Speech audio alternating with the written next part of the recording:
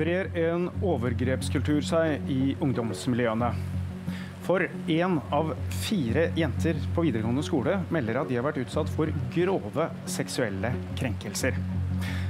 Hva vil ungdomspolitikerne gjøre med det?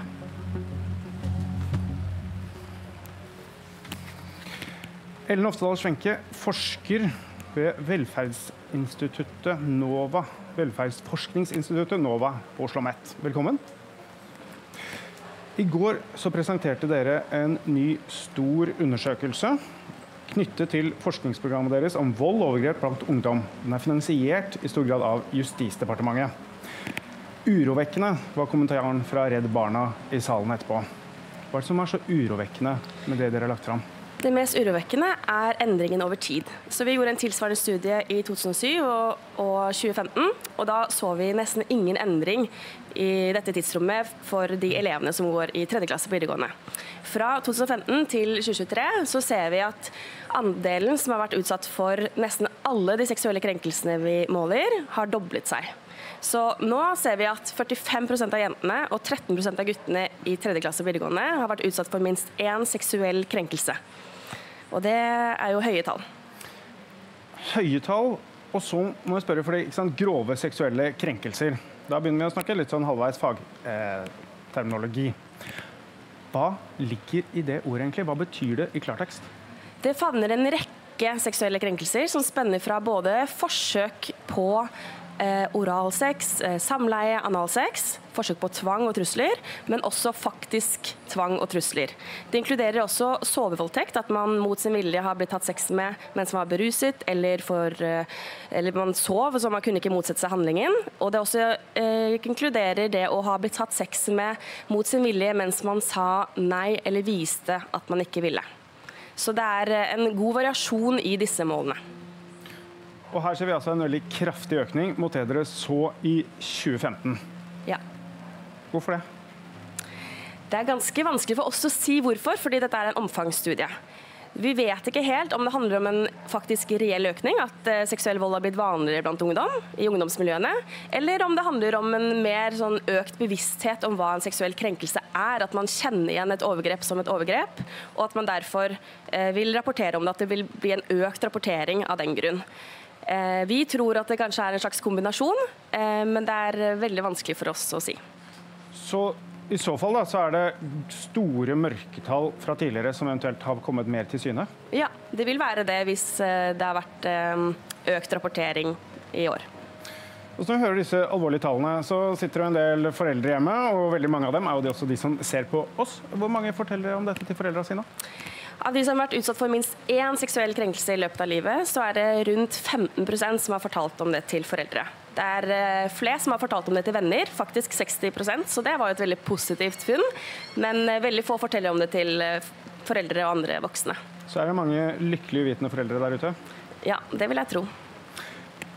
De som har vært utsatt for, for disse grove, ganske grove overgrepene, hvordan går det med dem etterpå? Det er ganske mye forskning som har blitt gjort uh, blant overgrepsutsatte.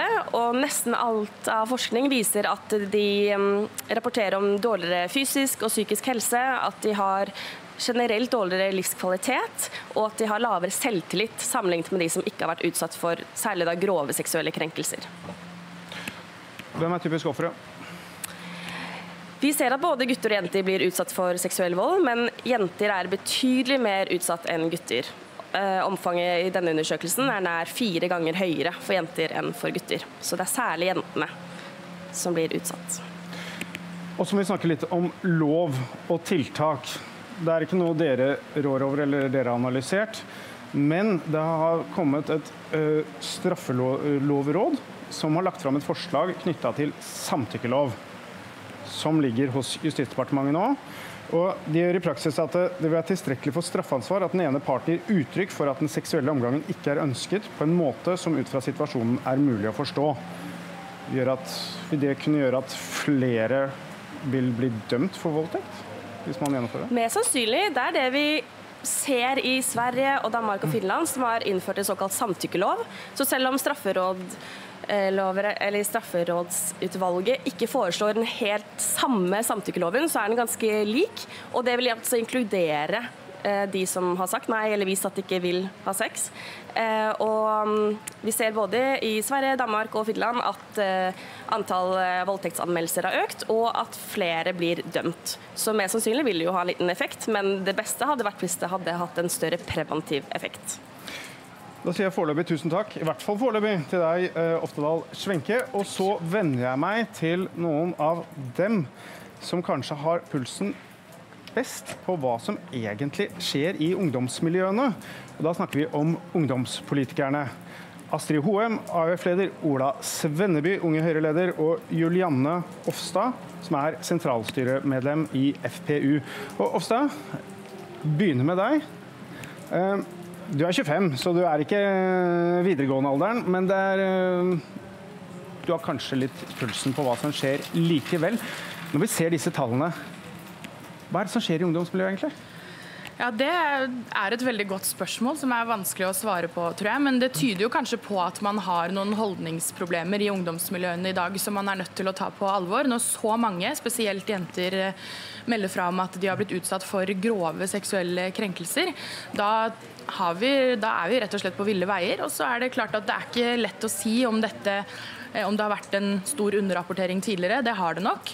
Men eh, jeg tror at her er vi virkelig nødt til å ta i et tak for å sørge for at eh, ungdom vet hva som er innafor og ikke. Det tror jeg de fleste vet, men vi vet at veldig mye av dette skjer når man er påvirka av rus f.eks. Vi er nødt til å ha et mye mer bevisst forhold rundt hvordan man oppfører seg ved inntak av rusmidler. Svenneby, eh, brutalisering blant gutter i ungdomsmiljøene, er det det vi ser her? Man kan i hvert fall ikke utelukke det. og En ting som jeg har tenkt litt på, som jeg blir mer og mer bekymret for, er at eh, jeg er veldig redd for at eh, de to koronaårene og koronanedstengingene som førte til at uh, veldig mange unge gikk glipp av en normal ungdomstid, kan være en av årsakene til den utviklingen vi ser nå. Så det er ikke noe belegg for å si det, men jeg bare merker også blant Unge Høyres medlemmer, blant de vi besøker på skolene, blant lærere, at man har, ser noen tegn på en litt annen type generasjon av unge mennesker, rett og slett fordi de ikke har hatt normal ungdomstid.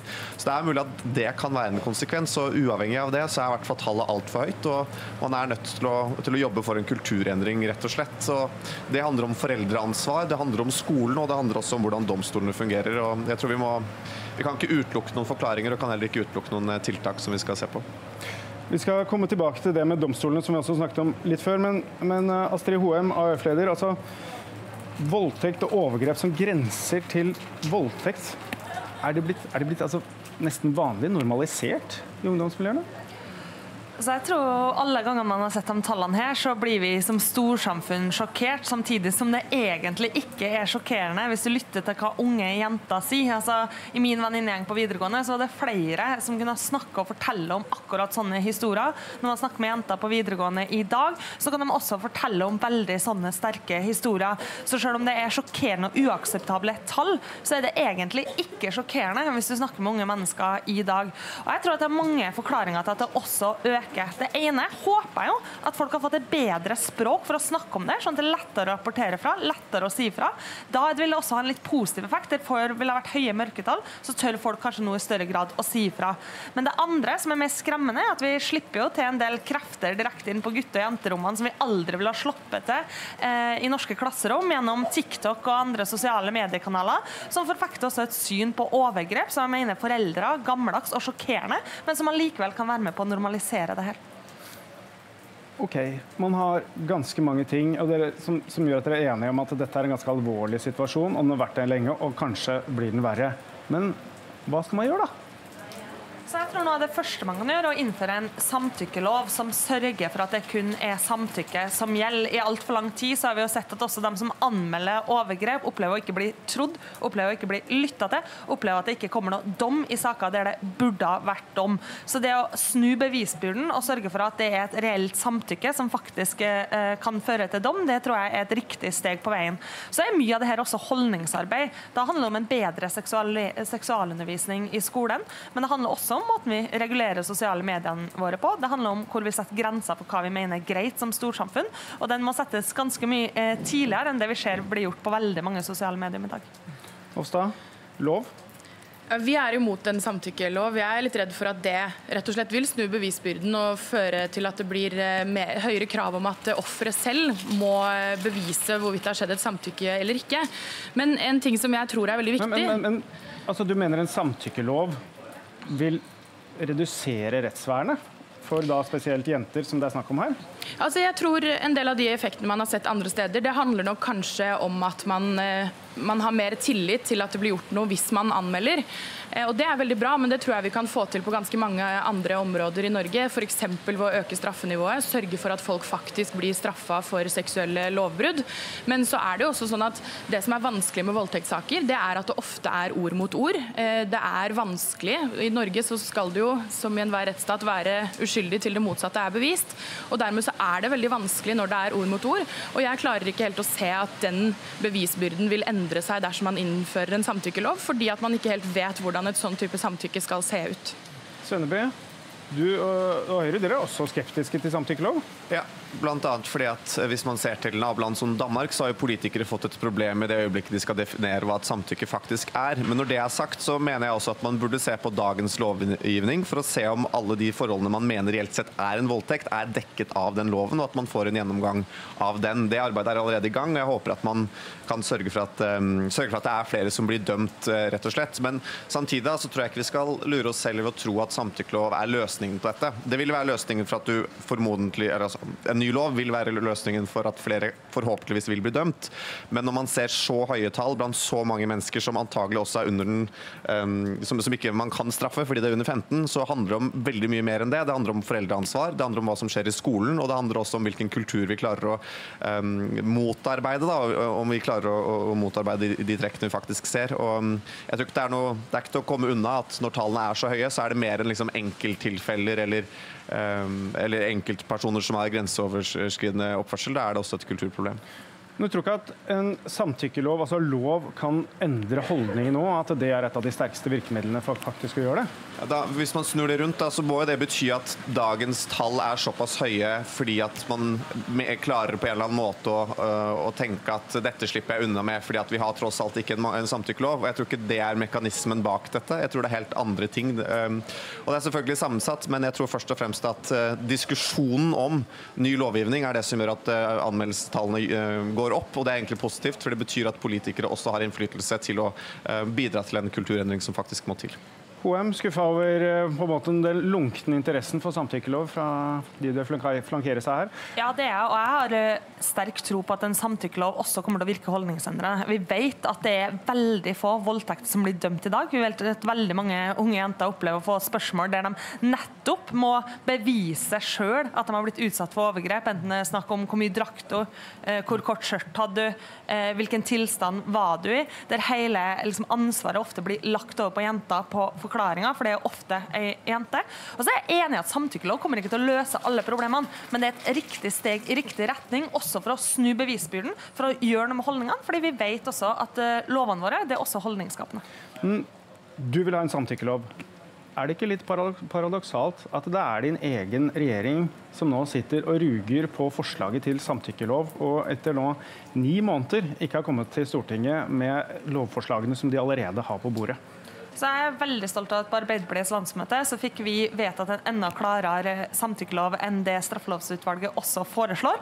Og så kommer vi også til å pushe på regjeringa for at dette blir gjennomført eh, snart. For jeg mener at det haster, fordi at vi vet at hver eneste jente eller gutt som blir utsatt for overgrep, er en for mange. Og da må vi også ha et lovverk som trygger dem i at når de eh, anmelder, så får de faktisk den oppfølginga de fortjener også? Ja, jeg tenker jo at Det er mye annet vi kan gjøre. Det handler om at folk skal ha tillit til at disse sakene blir tatt på alvor. Vi hadde jo en sak nå forrige uke hvor det var en 17-åring som ble tatt for en overfallsvoldtekt.